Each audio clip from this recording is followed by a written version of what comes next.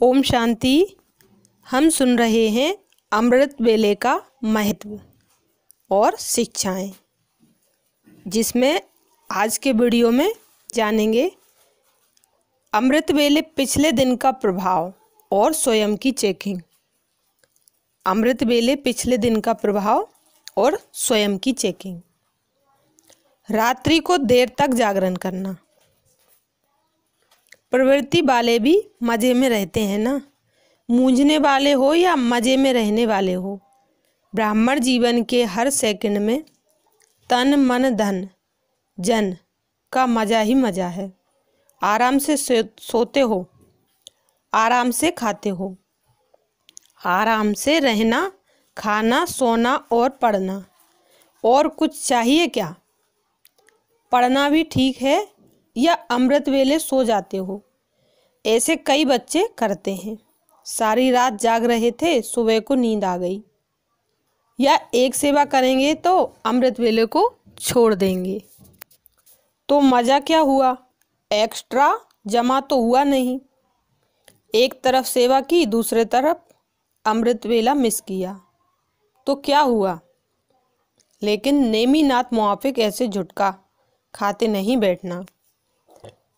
वह टीवी बहुत अच्छी होती है, जैसे वह योग के आसन करते हैं ना, अनेक प्रकार के पोज बदलते रहते हैं। तो यहाँ भी ऐसे हो जाते हैं, सोचते हैं सहज योग है ना, इसलिए आराम से बैठो। कईयों की तो ट्यून भी बाप दादा के पास सुनने में आती है। बाप दादा के पास वह भी कैसेट है। तो अब डबल अंडरलाइन करेंगे ना, फिर बाप दादा सुनाएँगे कि रिज़ल्ट में कितना अंतर पड़ा। काम करने का समय निश्चित होना चाहिए। कई समझते हैं, रात को जागकर काम करते तो अच्छा काम होता। लेकिन बुद्धि थक जाती है और अमृत वेला शक्तिशाली न होने के कारण जो कार्य दो गुना होना चाहिए, वह एक गुना होता है। इसलिए टाइम की लिमिट होनी चाहिए। फिर सवेरे उठकर फ्रेश बुद्धि से पढ़ाई पढ़नी है। काम करने की लिमिट होनी चाहिए। ऐसे तो बाप दादा बच्चों का उमंग देख खुश भी होते हैं। लेकिन फिर भी हद तो देनी पड़ती है ना। सदा बुद्धि फ्रे, फ्रेश रहे। और फ्रेश बुद्धि से जो काम होगा, वह एक घंटे में दो घंटे का काम कर सकते हो। जो सेवा याद में, उन्नति में थोड़ा रुकावट करने के निमित्त होती है। तो ऐसी सेवा के समय को कम करना चाहिए। जैसे रात्रि को जागते हो, बारह व एक बजा देते हो तो अमृत वेला फ्रेश नहीं होगा। बैठते भी हो तो नियम प्रमाण। और अमृत वेला शक्तिशाली नहीं तो सारे दिन की याद और सेवा में अंतर पड़ जाता है। मानो सेवा के प्लान बनाने में, बस सेवा को प्रैक्टिकल में लाने में समय भी लगता है। तो रात के समय को कट करके बारह के बदले ग्यारह बजे सो जाओ। वही एक घंटा जो कम किया और शरीर को रेस्ट दी तो अमृत वेला अच्छा रहेगा, बुद्धि भी फ्रेश रहेगी। नहीं तो दिल खाती है कि सेवा तो कर रहे हैं, लेकिन याद कर चार्ट जितना होना चाहिए उतना नहीं है। सोने से पहले बाप दादा को सारे दिन का पोता मिल ना देने से नुकसान। सोने से पहले बाप दादा को सारे दिन का पोता मिल न देने से नुकसान। याद रखना, अगर किसी के प्रति भी स्वप्न मात्र भी लगाव है, स्वार्थ हो तो स्वप्न में भी समाप्त कर देना। कई कहते हैं कि हम कर्म में नहीं आते लेकिन स्वप्न आते हैं। लेकिन अगर कोई व्यर्थ व विकारी स्वप्न, लगाव का स्वप्न आता है तो अवश्य सोने के पहले आप अलवेलेपन में सोए।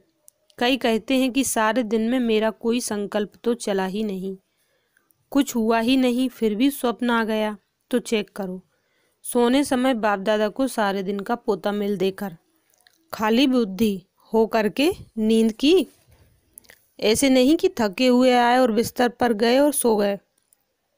ये अलबेलापन है। चाहे विकर्म नहीं किया और संकल्प भी नहीं किया, लेकिन यह अलवेलेपन की सजा है।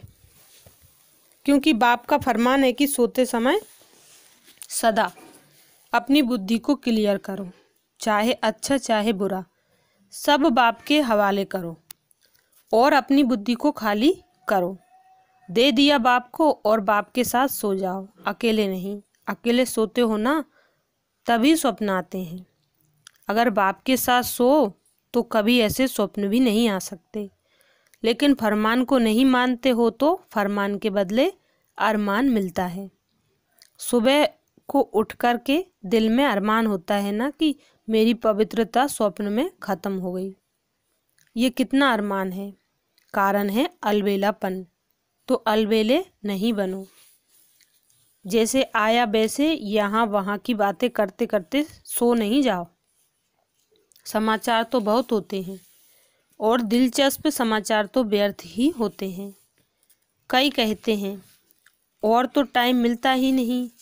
जब साथ में एक कमरे में जाते हैं तो लेन देन करते हैं। लेकिन कभी भी व्यर्थ बातों का वर्णन करते करते सोना नहीं। ये अलबेलापन है। ये फरमान का उल्लंघन करना है। अगर और टाइम नहीं है, और ज़रूरी बात है तो सोने वाले कमरे में नहीं। लेकिन कमरे के बाहर दो सेकंड में एक दो को सुनाओ। सोते सोते नहीं सुनाओ। कई बच्चों की तो आदत है। बाप दादा तो सभी को देखते हैं ना कि सोते कैसे हैं। एक सेकंड में बाप दादा सारे विश्व का चक्कर लगाते हैं और टीवी से देखते हैं कि सो कैसे रहे हैं, बात कैसे कर रहे हैं। बाप दादा सब देखते हैं।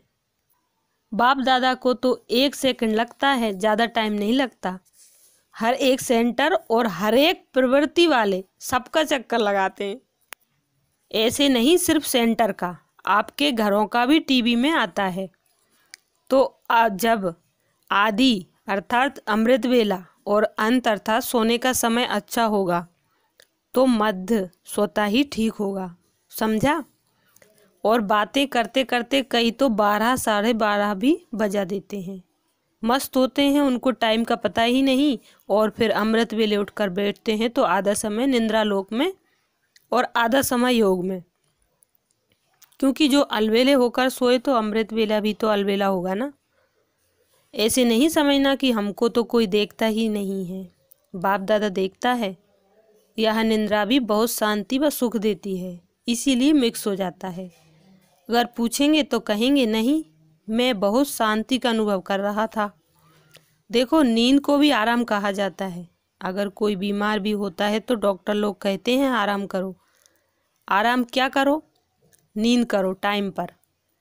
तो निंद्रा भी आराम देने वाली है। फ्रेश तो करती है ना? तो नींद से फ्रेश होकर उठते हैं ना? तो कहते हैं, आज योग में बहुत फ्रेश हो गए। जैसे व्यापारी लोग जो व्यापार करते हैं उसका उसी समय ही हिसाब किताब चुकतू कर लेते हैं। तो निश्चिंत रहते हैं। अगर अधूरा रहा हुआ हो तो ना चाहते हुए भी बुद्धि उस तरफ़ चली जाती है। ऐसे ही आप भी रोज रात को जो कुछ किया, वह बाप के सामने रख। स्वयं को हल्का नहीं बनाते हो। अच्छा किया तो बाप स्वयं ही ऑटोमेटिकली एक का लाख गुना जमा कर देगा। और व्यर्थ किया तो सुना। सुनाकर अपना बोझ उतार देने से आगे के लिए व्यर्थ का खाता जमा होने से बाप बचा लेंगे। विकर्म किया तो रहमदिल बाप, सच्चाई और सफ़ाई के आधार पर आधा दंड माफ़ कर देगा और आगे के लिए रास्ता क्लियर कर देगा। सोने से पहले सारे दिन के समाचार की लेन देन चाहे कंबाइंड रूप में करो, चाहे बाप के रूप में करो। एक दिन का समाचार दो और दूसरे दिन का श्रेष्ठ संकल्प और कर्म कर की प्रेरणा लो। सब समाचार की लेन देन करना, अर्थात हल्के बन जाना। जैसे रात को हल्की ड्रेस में सोते हैं ना, ऐसे बुद्धि को हल्का करना, अर्थात हल्की ड्रेस पहनना है। ऐसे तैयार हो, साथ में सो जाओ। अकेले नहीं सो। अकेले होंगे तो माया चांस लेगी। इसलिए सदा बाप के साथ रहो। अकेले रहने से डर भी लगता है, साथ में सोने से निर्भय भी हो जाएँगे। आप निर्भय रहेंगे और माया डर जाएगी। जैसे अंत में आत्माएँ जो संस्कार ले जाती हैं, वही मर्ज होते हैं। फिर वही संस्कार इमर्ज होते हैं। इस रीति से यह भी दिन को जब समाप्त करते हो तो संस्कार न्यारे और प्यारेपन के हो गए ना। इसी संस्कार से सो जाने से फिर दूसरे दिन भी इन संस्कारों की मदद मिलती है। इसलिए रात के समय सख्ती से पुराने खाते को समाप्त कर देना चाहिए। हिसाब चुकतू कर देना चाहिए। जैसे बिजनेसमैन भी, अगर हिसाब किताब चुकतू ना करें तो खाता बढ़ जाता है और कर्जदार हो जाते हैं। कर्ज को मर्ज कहते हैं। इसी रीति से अगर सारे दिन के किए हुए कर्मों का खाता और संकल्पों का खाता भी कुछ हुआ, उसको चुकतू कर दो। दूसरे दिन के लिए कुछ कर्ज की रीति ना रखो। नहीं तो वही मर्ज के रूप में बुद्धि को कमज़ोर कर देता है। रोज अपना हिसाब चुकतू कर नया दिन, नई स्मृति रहे। ऐसे जब अपने कर्मों और संकल्पों का खाता क्लियर रखेंगे, तब संपूर्ण व सफलता मूर्त बन जाएँगे। अगर अपना ही हिसाब चुकतू नहीं कर सकते हो तो दूसरों के कर्म बंधन व दूसरों के हिसाब किताब को कैसे चुकतू करा सकेंगे? इसलिए रोज रात को अपना रजिस्टर साफ़ होना चाहिए।